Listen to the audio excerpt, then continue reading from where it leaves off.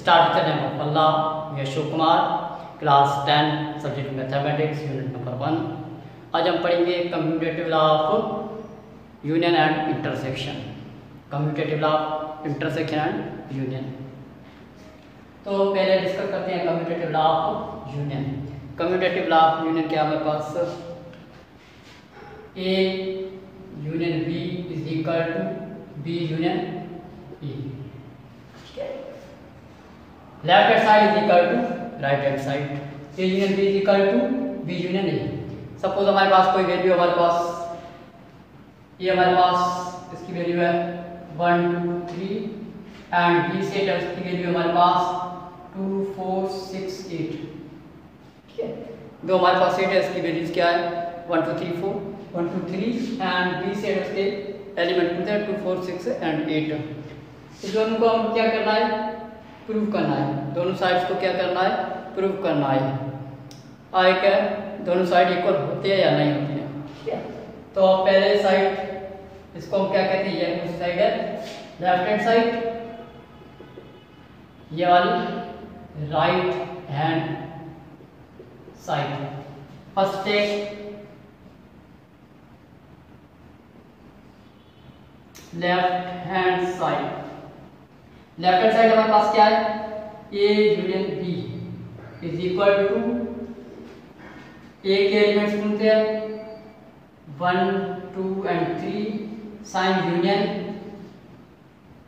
B के element ढूंढते हैं? Two four six and eight then A union B is equal to union करना है। दोनों को क्या कंबाइन करना है? वन इसमें भी टू है, इसमें टू है। वन टाइम्स करेंगे।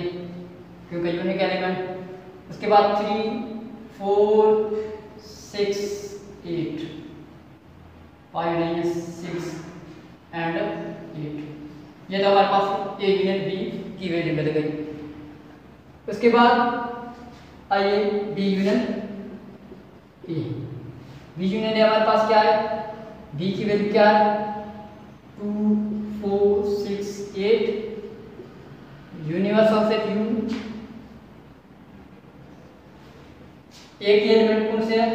One two and three one two and three अब इसको यूनियन करना है A union sorry B union A is equal to series में लिखेंगे इसको।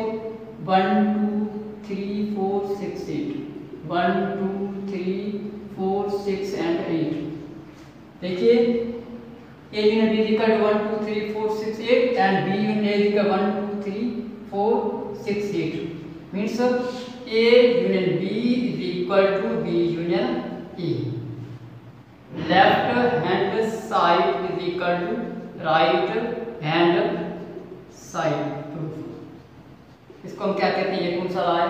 Commutative law of union union क्यों? क्योंकि बीच में क्या है? यू है। ये हो गया। Commutative law of junior